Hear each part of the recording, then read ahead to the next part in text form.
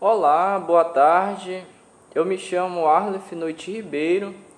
Eu sou aluno de graduação pela Universidade Federal do Amapá. Tenho como orientador o professor Dr. Ilon Maciel Ferreira. E o título do trabalho é Atividade do resíduo do destilado do óleo de palma em larvas de Aedes aegypti. O Aedes aegypti é o vetor causador de diversas doenças, tais como, por exemplo, febre amarela, chikungunya, dengue e zika. É um vetor que causa muitos problemas à saúde pública. Desde as últimas décadas, estudos vêm sendo realizados para o combate deste vetor. E um dos métodos mais remanescentes de controlar este vetor é o uso de inseticidas sintéticos, tais como, por exemplo, órgãos fosforados, órgãos clorados e dentre outros.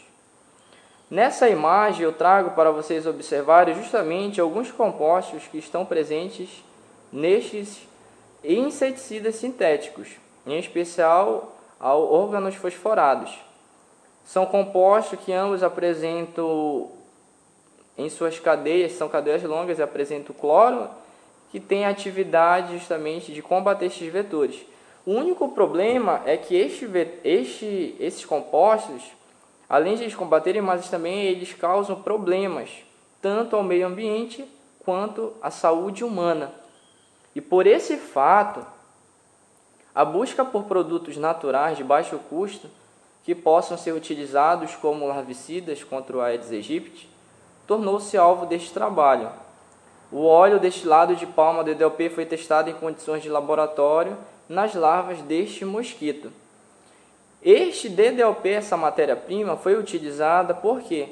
Porque ela se trata de uma agropecuária de alta disponibilidade, além de que o Brasil está entre os maiores produtores do mundo de óleo de palma e também por se tratar de uma matéria-prima que tem baixo custo.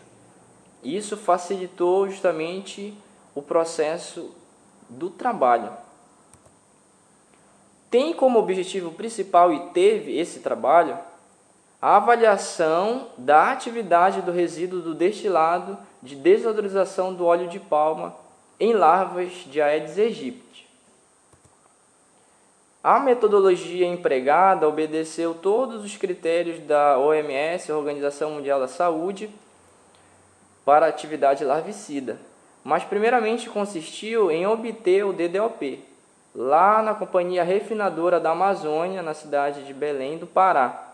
Posteriormente, o DDOP foi preparado em diferentes concentrações: 15, 7,5, 5, 2,5 e 1 micrograma por ml. Foi todos eles solubilizados em DMSO. Em cada bioensaio realizado foram utilizadas 10 larvas em condições controladas a 25 graus Celsius, conforme orienta o protocolo da OMS. E para atividade larvicida, as concentrações letais de LC50 foram determinados após 24 e 48 horas de incubação e calculados usando análise do tipo PROBIT. Como primeiro resultado para se colocar e discutir é justamente que esse trabalho mostrou que cerca de 100% da mortalidade foi alcançada na concentração de 15 micrograma por ml, como mostra o gráfico, né? na concentração de 15 micrograma por ml e atingiu justamente a 100% nas 24 horas né, de disposição dessas larvas na solução de DDLP. E 80% obteve, né, 80% foi de letalidade nas 24 horas também na concentração de 15, 15 micrograma por ml. Já no gráfico que mostra a, a análise das 48 horas, o que, que se obteve? Obteve 100% de mortalidade dentro da concentração de 7,5 micrograma por ml. O resíduo de DDLP, quando testado ele mostrou uma boa eficácia em larvas de 3 instar Aedes aegypti com valor de ADC50 de 6,23 micrograma por ml em 24 horas e de 4,84 micrograma por ml em 48 horas, como mostra o gráfico. Pois bem, quando também as larvas de Aedes aegypti forem expostas na solução de DMSO apenas, numa concentração de 2%, não pôde-se observar uma taxa relevante de letalidade tanto nas primeiras 24 e 48 horas de incubação dessas larvas.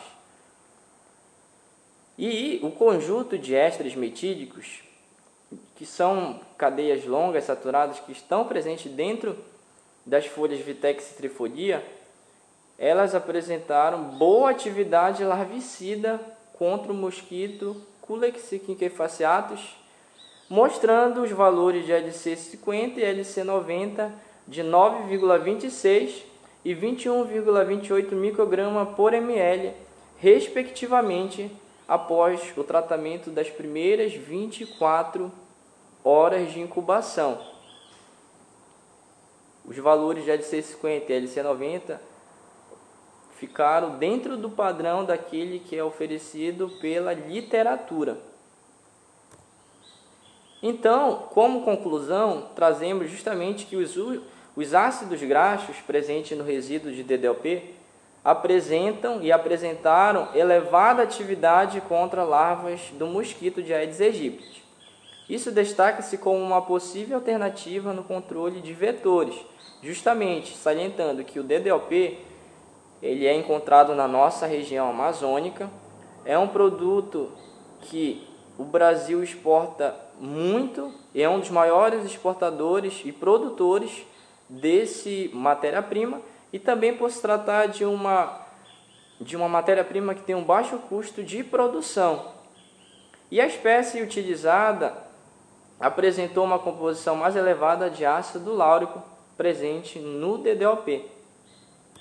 Como forma de agradecimento, primeiramente vai ao CNPq pelo fornecimento da bolsa de iniciação científica que ajudou na produção do trabalho, a FAPEAP que também disponibilizou alguns recursos financeiros para o andamento do trabalho, ao Laboratório de Biocatálise Síntese Orgânica Aplicada, pelo acolhimento, pela disponibilidade de alguns materiais que foram eficazes na produção do trabalho, assim também como ao técnico de laboratório Victor Hugo, ao professor Dr. Alex de Nazaré e ao professor Dr. Nonato pelo apoio experimental. No mais, agradeço pela oportunidade e muito obrigado.